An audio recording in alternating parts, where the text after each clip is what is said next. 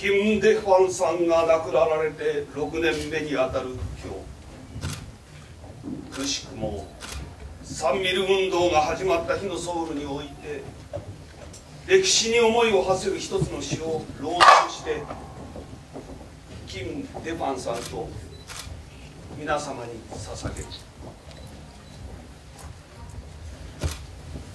干物のように熱い大気の唇が瓦礫の山々を吹きつける砂塵が吹き舞い汗は乱れと。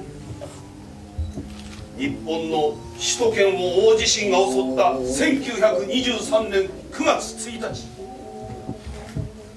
根も葉もない山流言を広げる無数のボートによって日本で懸命に働き暮らす朝鮮半島の人々の数多くの虐殺隊が加わった崩壊した建造物に汚れきった川の流れに血塗られた鬼の牙浅ましきから愚かな群れどもが朝鮮半島から来た人々を虐殺した崩壊した建造物汚れきった川の流れ異国の地の荒野でなぶり殺され虚しく散った無垢の人々。暗淡として歴史の泥汁をなめ冷血な鬼たちの財宝の福さを恥じ詫び祈る。朝鮮人を出せ殺せ。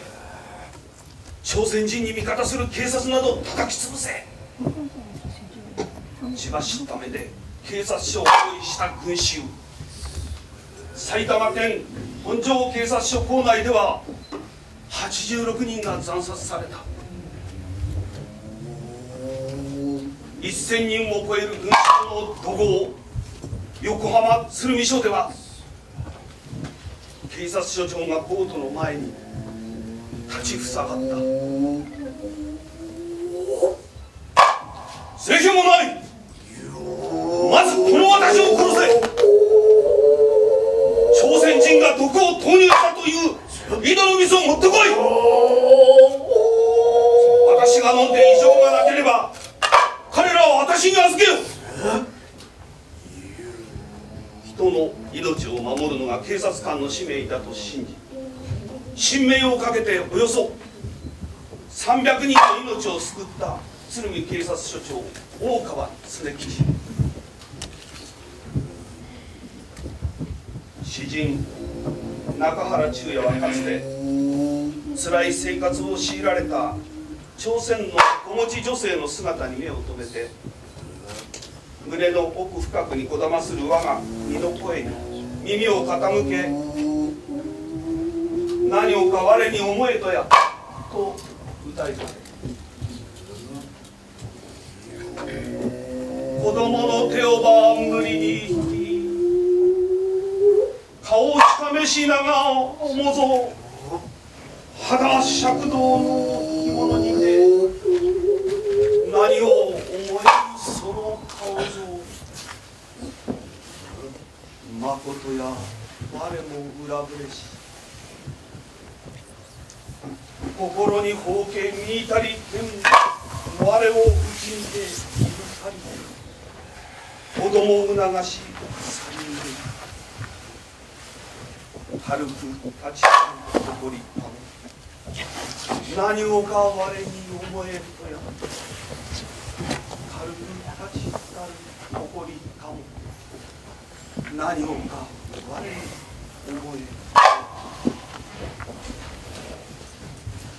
雨の降る品川へ詩人長野茂春はかつて独立を目指し決死の覚悟で祖国に帰る朝鮮の友たちの姿を涙で曇った心の窓に収める「さようなら」の言葉に乗せて歌った。君らは雨の降る品川駅から乗車する。君らは君らの祖父母の国に帰る。君らの国の川は寒い冬に凍る。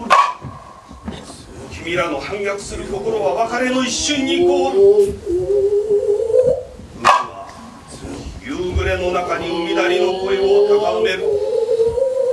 は雨に濡れて車庫の屋根から舞い降り雨は敷石に注ぎ黒い海面に注ぎ落ちる。雨は君らの熱い方に消える。君らの黒い影は改札口もよぎる。君らの白いのっそは炎の闇に翻る。シグナルは色を変える。君らは乗り込む。君らは出発する。君らは去る。さようなら。さようなら。金さようなら。金さようなら。女のリン白いモッソ白は朝鮮民族の美の象徴と言われ歴史の中で虐げられた哀切の石だがその白は精いっぱいの抵抗を示してきた強さを決めた深い色である。白の名を持つ在日2世男性俳優の言葉だ白は歴史の中で虐げられた哀切の色。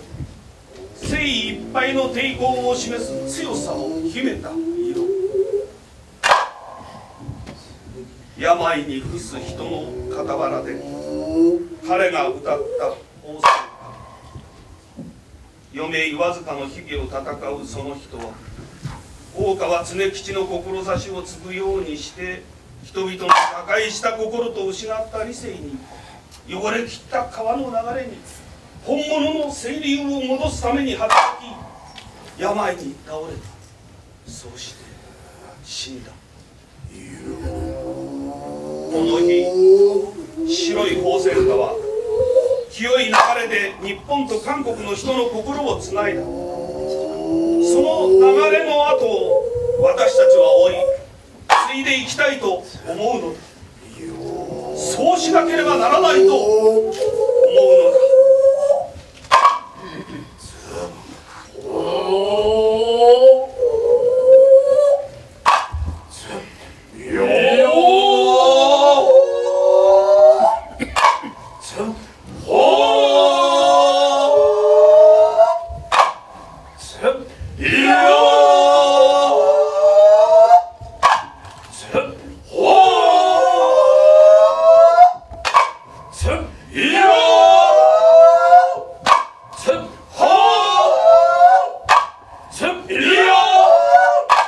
よ